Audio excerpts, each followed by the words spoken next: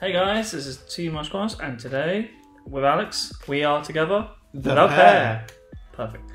And today we were discussing really what we're going to do for this channel and how we're going to go about it. So we come up to the conclusion that like once a week for the next however long this goes on, weeks, years ahead, uh, we're going to be doing little vlogs like this.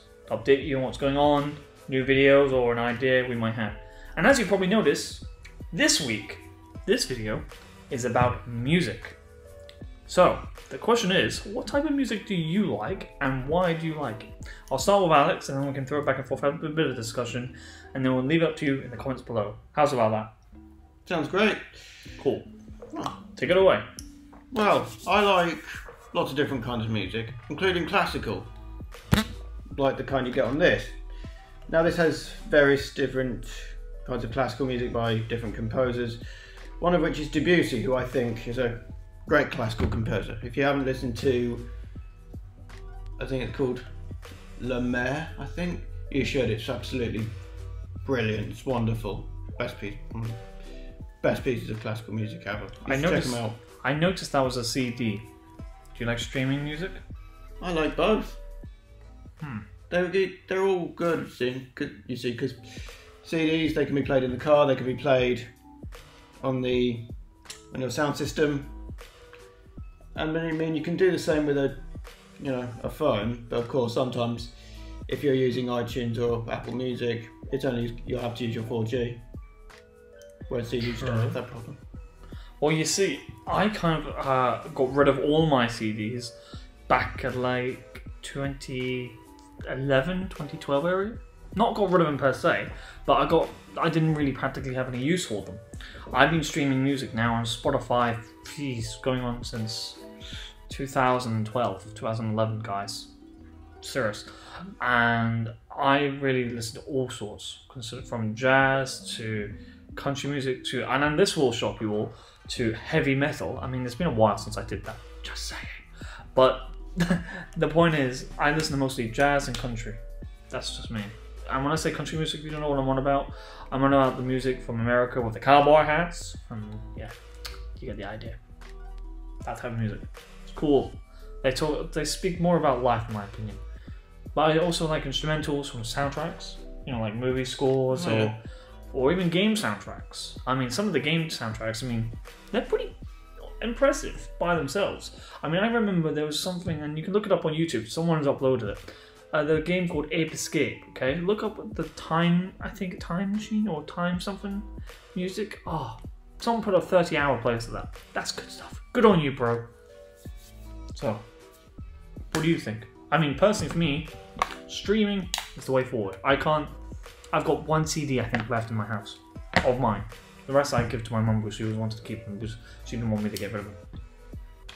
Well, I like both, 'cause- but I still do quite a lot of streaming as well.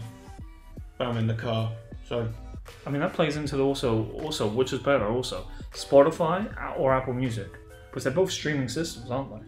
well, I use iTunes. True, but iTunes is where you buy the music, isn't it? Yeah, I like it that way. So would you rather like say buy the downloaded content or would you rather buy the CD version? Because remember, if you do buy the downloadable one, you're putting these guys out of business, CD people. It's kind of like DVDs, if you will.